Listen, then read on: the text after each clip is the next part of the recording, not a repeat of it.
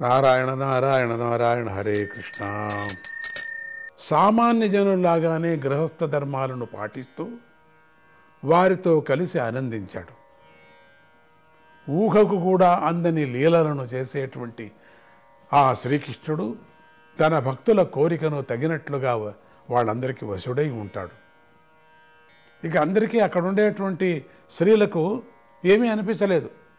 అందరికీ వాళ్ళ వాళ్ళ వశంగా ఉన్నాడు. నా ఇంట్లోనే నాకు ఇష్టం. భవనము సామాన్యమైన భవనం కాదు. ఏదో రెండు రూములతో ఉండినటువంటి భవనం కాదు. విశాలమైనటువంటి భవనము విశాలమైనటువంటి తోట. విశాలమైనటువంటి భవనంలో అసలు ఎన్ని రోజులు ఉన్నట్టు గ- గడిచినట్టు కూడా తెలియదు అంత విశాలంగా ఉన్నది. వాళ్ళందరికీ వసుడైపోయాడు అట్లా బయటికి కూడా వెళ్ళేవాడు. భవనాలు బయటకు కూడా తిరిగేవాడు. తన వెంట తన భార్యను పెట్టుకొని. కానీ వీళ్ళంతా యువతలు యువతల్లాగా తిరుగుతున్నారు ఒక్కొక్కరికే తిరుగుతున్నారు. కృష్ణుడు ఎక్కడా కనపడలే. కానీ కృష్ణుడు ఆ యువతి దగ్గర ఉన్నాడు. ఈ యువతి అనుకోవటం ఆ యువతి ఒకతే తిరుగుతున్నది కృష్ణుడు నా దగ్గరే ఉన్నాడు అనుకోవటం. ఆ యువతి అనుకోవటము ఏ నాతో తిరుగుతున్నాడు కృష్ణుడు అసలు దానికి లేదు ఊరికే తిరుగుతున్నది ఏదో కృష్ణుడు ఉన్నట్టుగా భావించుకొని ఏదో నాటకం ఆడుతుంది అని. ప్రతి ఒక్కరూ అట్లే అనుకునేవాళ్ళు. పుర ప్రజలు కూడా ఏమిటి ఈ యువతలంతా ఇట్లా తిరుగుతున్నారు ఒక్కొక్కరే? ఏంటి ఇట్లా వీధిలో పడిపోయినారు కదా? వాళ్ళు అనుకోవటం. కానీ వీళ్ళు జంట తిరుగుతున్నారు అందరూ కూడా. కృష్ణుడు కనపడటం లేదు ఎవరికి. ఎక్కడా కనపడటం లేదు. యువతలు మాత్రమే కనపడుతున్నారు. అక్కడ కూడా మార్కెట్ గిరికెట్ ఉండే రత్నాల మార్కెట్ అది ఇది. మనకేదో మార్కెట్లో ఉంటాయి కదా అండి. సూపర్ మార్కెట్లు లాగా అక్కడ కూడా ఉండేవి కదా అట్లా మార్కెట్లు. అంతా వెళ్ళేవాళ్ళు. వాళ్ళు వాళ్ళకు కావలసినటువంటి పదార్థాలన్నీ కూడా తీసుకునేవాళ్ళు. మనిషిలాగా జీవించాడు కదా స్వామి. దేవత అయినప్పటికి కూడా. అందుకని మనుషులు చేసేది ముందు రాబోయే తరాలు కలియుగంలో చేసేవన్నీ అక్కడ చేశాడు. మామూలుగా అన్ని అంగళ్ళకు వెళ్ళటం ఆ అంగళ్ళకు వెళ్ళి ఏమేమి కావాలో తీసుకోవటం అవన్నీ వస్త్రాలు తీసుకోవటం మరి తిండి సామాగ్రిలు తీసుకోవటం కాయగూరలు తీసుకోవటం అట్లా వెళ్ళేవాళ్ళు. ఎక్కడ చూసినా యువతులే పదహారు వేల మంది యువతులు అన్ని చోట్ల కనపడుతున్నారు. వాళ్ళని జనానికంతా అనిపించేది ఇన్ని వేల మంది స్త్రీలు ఎందుకయ్యా బయటకు వచ్చారు వీళ్ళు? అసలు ఇంటి నుంచి బయటకు వచ్చి ఏంటి ఇట్లా తిరుగుతున్నారు? అసలు మాకు తిరగటానికే స్థలం లేకోకుండా గుంపులు గుంపులుగా తిరుగుతున్నారు వీళ్ళు. ఎక్కడ చూసినా వీళ్ళే ఏ మార్కెట్లో చూసినా వీళ్ళే ఎక్కడ చూసినా వీళ్ళే ఉంటున్నారు. ఏంటిది? అక్కడ ద్వారకావాసులందరూ కూడా వీళ్ళని చూసి ఈ దేవతలను చూసి వీళ్ళు లక్ష్మీ దేవతలో మామూలు దేవతలో ఆర్డినరీ దేవతలో అసలు ఏమిటి పార్వతినో ఇట్లా అనుకునేవాళ్ళు.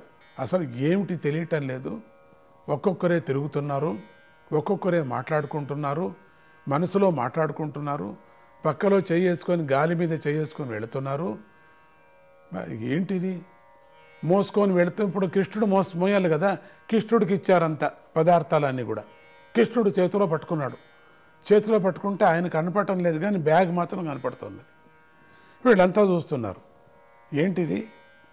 బ్యాగ్ మాత్రం ఈవిడ ఎంటబోతూ ఉన్నది ఏం సమాచారం ఇది?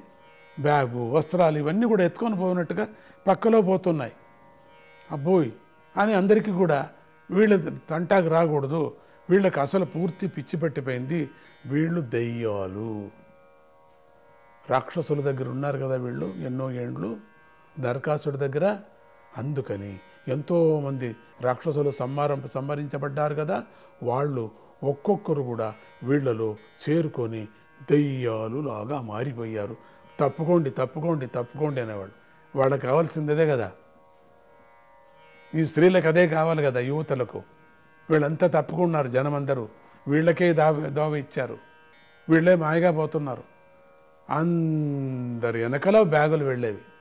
బ్యాగులు కూడా వెళుతున్నాయి అన్నీ. కానీ కృష్ణుడు ఎత్తుకున్నాడు అక్కడ. ఎవరికి అది తెలియదు అది. బ్యాగులు వెళుతున్నాయి.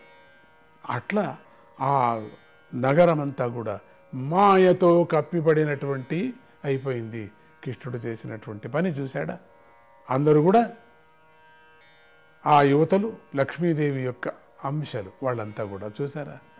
వాళ్ళు సాధారణమైనటువంటి యువతలు కాదు. ప్రతి ఒక్క పదహారు వేల మంది ఇంకా చూడండి కృష్ణుడు ఒక్కొక్క ఇంట్లో ఉంటున్నాడనే ఒక ఒక ఇంతవరకు ఆశ్చర్యపడ్డాం కదా. ఇంకొక ఆశ్చర్యం ఏంటంటే అసలు వీళ్ళందరూ కూడా లక్ష్మీదేవి యొక్క అంశలు అన్నారు. సాధారణమైనటువంటి రాజు పుత్రులు కాదు వీళ్ళు. అందరూ లక్ష్మీదేవి యొక్క అంశంతో ఉండినటువంటి వాళ్ళు. ఇన్ని వేల మంది కూడా శ్రీకృష్ణుడి స్వరూపాన్ని బ్రహ్మదేవుడు ఇంద్రుడు మొదలైన వారు కూడా తెలుసుకోలేకపోతున్నారు. అసలు ఎవరికి అర్థమవుతుంది ఆయన? ఆయన యొక్క రూపం ఎవరికి అర్థమవుతుంది? జగదోద్ధారుడు. యశోదమ్మ అనుకుంది ఆడించింది అటువంటి స్వామిని. ఎవరికి అర్థమవుతుంది శ్రీకృష్ణుని మాయ? అసలు ఎవరు తెలుసుకోగలుగుతున్నారు? కానీ ఆ యువతలు మాత్రము లక్ష్మీపతి అయినటువంటి శ్రీకృష్ణుడిని భర్తగా పొందారు. ఎంత ఆనందం ఎంత అదృష్టం వీళ్ళకు వారి ఆనందం ఎల్లప్పుడూ వృద్ధి చెందుతూనే ఉంటుంది. వాళ్ళు ఆనందంగానే ఉన్నారు కృష్ణుడితో ఉన్నారు. మిగతా తతంకాలు కృష్ణుడు వేరే చోట వెళ్ళి వాళ్ళను సంహారం చేశాడంటే కృష్ణుడు ఇక్కడే ఉన్నాడు కదా అనుకుంటుంటారు. మనం ఒక పర్యం బృందావనంలో కూడా ఇట్లనే కథలు చెప్పుకున్నాం కదా మనం. మనం జ్ఞాపకం పెట్టుకోండి. పరమాత్ముడు లీల కదండి అది. అట్లా మనం చెప్పుకున్నాం కదండి. ఎంత ఆనందంగా చెప్పుకున్నామండి అది. ఆ బృందావనం కథలు అద్భుతమైనటువంటి బృందావనాన్ని మనం వివరణ చేసుకున్నాం. అట్లా ఈరోజు కూడా మనం ఇదే ప్రకారంగా వివరణ చేసుకుంటున్నాం. వారు ప్రేమతో కూడినటువంటి చిరునవ్వులతోనూ చూపులతోనూ క్రొత్తగా కలిసిమెలిసి జీవనం సాగించటంలో ప్రేమ ఊసుల సిగ్గులతోనూ ఆయనను సేవించారు. ముసిముసి సిగ్గులతో. ఎప్పుడు సిగ్గుపడుతూనే ఉండరు. వాళ్ళకి దుఃఖం అనేదే లేదు. తాపత్రయం అనేది లేదు. సంసారము దుఃఖం అనేది లేదు. శరీరము రోగం అనేది లేదు. పరమాత్ముడే వాళ్ళ దగ్గర ఉంటే ఎక్కడుంటుందండి? ఆ శ్రీకృష్ణుడు భార్యల వద్ద వందల కొద్ది దాసీలు కూడా ఉన్నారు. అయినా కూడా శ్రీకృష్ణుడి ప్రభువుకు ఎదురు వెళ్ళటము ఆసనము వెయ్యటము త్రాగే నీరు ఇవ్వటము కాళ్ళను కడగటము తాంబూలాన్ని ఇవ్వటము కాళ్ళను నొక్కి శ్రమము తొలగించటము వీచటము గంధము పూయటము పువ్వులను ఇవ్వటము జుట్టును చక్కగా దువ్వటము శయ్యను చక్కగా ఏర్పాటు చేయటము స్నానము చేయించటము భోజనం వడ్డించటము మొదలైన సేవలతో భార్యలు వారే స్వయంగా సేవ చేసుకున్నారు. నారాయణ నారాయణ నారాయణ. హరే.